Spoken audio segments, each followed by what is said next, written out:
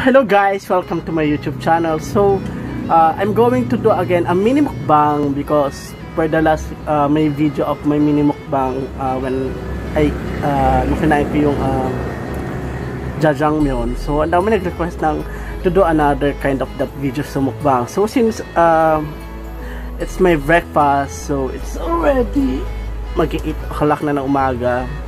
So, I cook this um, samyang carbo noodles. So, it had no uh, ito dito. Wala siyang ganong sahaw dito na doon nagjajanglo na super loaded, diba? This one, say, just put mixed veggies lang, garlic chips, and then uh, some chicken nuggets. So, ayun siya. So, chicken nuggets and then yung samyang carbo noodles. So, if you know, don't know, yung samyang carbo noodles is one of my favorite din. So, hindi siya gano'ng kaanghang dito lang ng mga samyang na uh, noodles, yung ganon. This one is very mild lang din. So, tolerable yung kanyang pagkaang. So, love this. And also, it had this parang white powder na nagpapakrimi doon sa mismong uh, sauce ng noodles. So, masarap siya, promise. So, I recommended this samyang carbonara noodles. So, if you want to try this, you can, it's available online. Also, it's uh, SNR. Sa SNR ko ito pinabili doon sa friend ko. Nakakabili doon ng isang pack. So, isa isang pack, it had 5 5 um, 5 each. So yun. If you want to see my mukbang videos of this so you just keep on watching.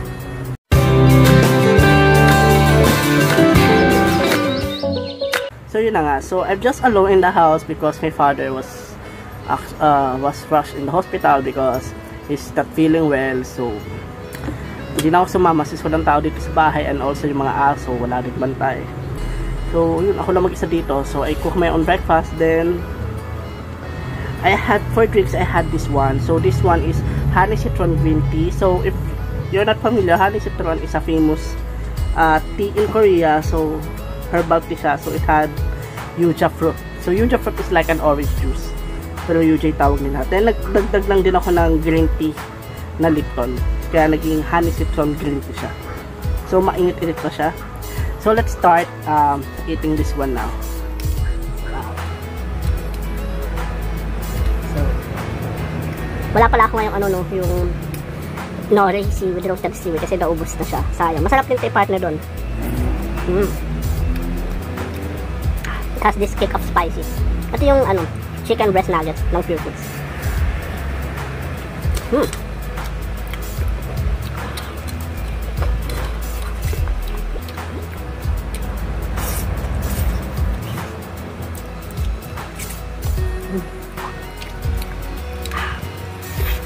May spiciness kasi siya talaga.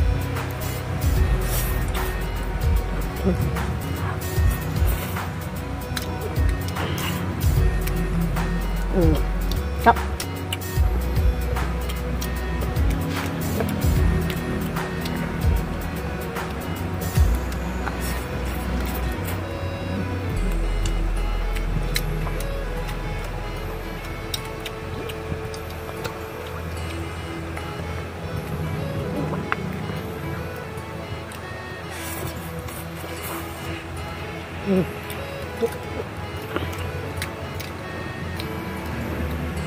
see, yeah. So, ito yung garlic chips. Mm. Gula. Mm.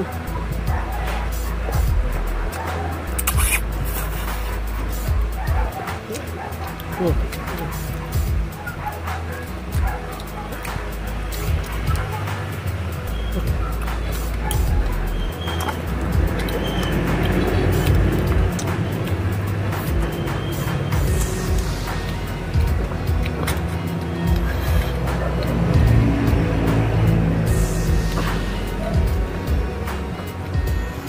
Had the nuggets and then the noodles.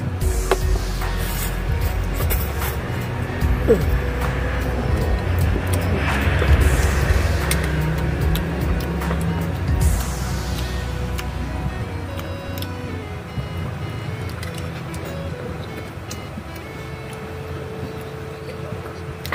Halos ito 20. Siya. Siya.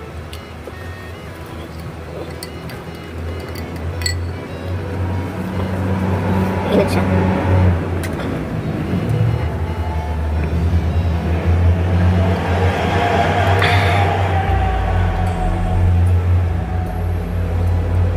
Ah, mainit pa siya. Papawisan ako kasi naahang pas mainit pag pinagsama talaga. Pagpapawisan ka talaga. So, yun. So, monti lang siya, no? Kasi wala siyang ganong sarap. so, I will get the veggies. Yung mga mixed veggies, yung carrots, corn, and the green peas. Yung sa supermarket, yung frozen mixed veggies. Gusto ko rin kasi sa noodles may kasamang veggies talaga. The nuggets. So, nilagay ko siya ng nuggets sauce. May kasama namang nuggets sauce yung nabili kong nuggets. Mmm. Mm. Ano siya siya, no? Para siyang, nga, nakalagay naman doon breast. Chicken breast nuggets. So. Hindi siya para ma... Diba may nuggets kasi na parang maharing na doon. Mm. Diba? Mm. Mm.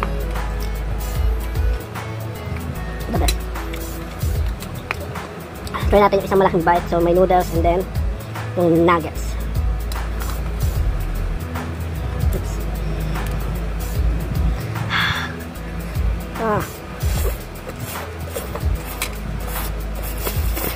Mm. Mm.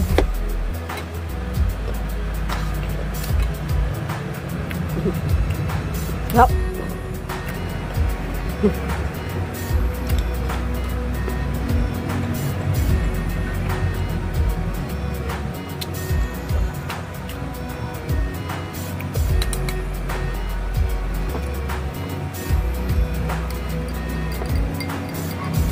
Sarap yung isang bite. Sungsok talaga yung ganun, yung isang bite. Andun lahat. Parang yung flavor nag-mix na agad. Sarap. Honey citron tea.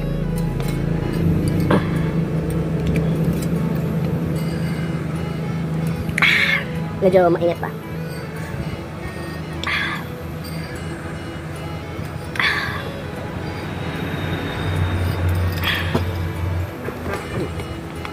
Hindi na lang siya.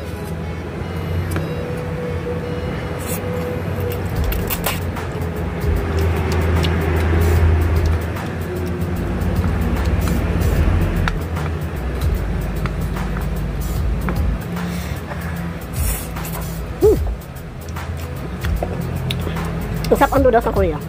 The best.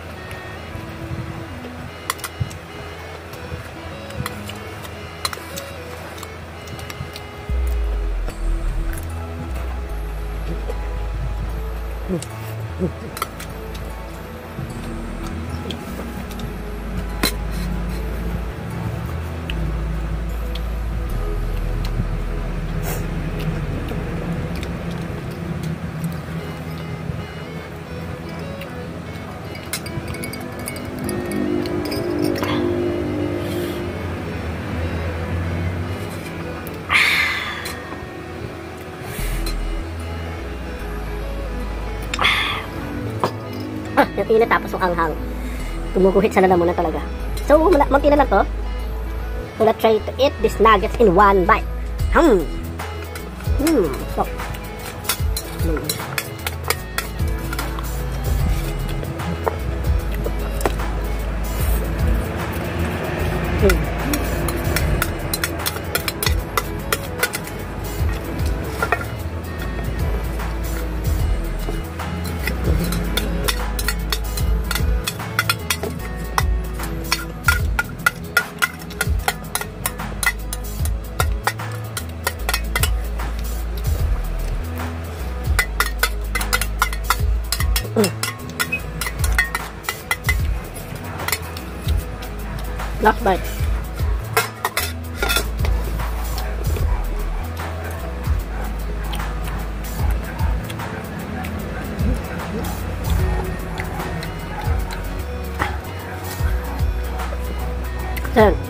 Labas na siya. So, yung ahang niya, tolerable sa parang sa akin. Kayang-kaya ko yung ahang niya. Hindi katulad nung times 2, times 3 ko. Hindi ko alam paano ko tatanggal yung ahang sa bibig ko sa dila. This one, masarap siya. Ang ahang niya parang may kick lang tapos malamig sa bibig. Ganun. Ganun yung pagkahang niya. So, kuha tayo ng yuja. So, ito yung wait.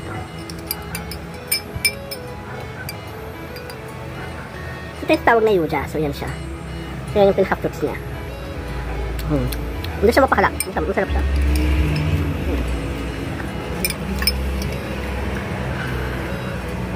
Masarap na brand ng honey citron is Otogi din. So, ibang brand tong gamit ko. Pero naubos na kasi yung binili ko dati yung Otogi na honey citron. This one is bought in SNR.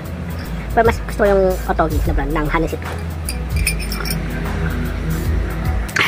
So, yun na. Let's end up. Let's end this. Hmm. Ano ba? So, dito natatapos tong mukbang na to. So, hope you like this guys and don't forget to hit like and subscribe to my channel. So, if you want any request video, so don't hesitate to comment down below. So, yun lang guys. Panalo pa din video pa. Tapusin na natin to. Bye-bye!